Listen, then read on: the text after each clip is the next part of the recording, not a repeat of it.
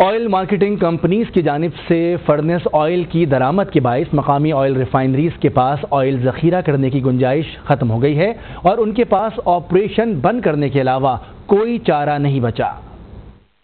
पाकिस्तान की चार में से तीन ऑयल रिफाइनरीज बंद हो गई, चौथी भी बंदिश के करीब पहुँच गई। वजह फर्नेस ऑयल की वाफिर पैदावार और जखीरे की गुंजाइश खत्म होना है। तजियाकार कहते हैं, पेट्रोलियम डिवीज़न की बैड गवर्नेंस का कमियाजा रिफाइनरीज को भुगतना पड़ रहा है।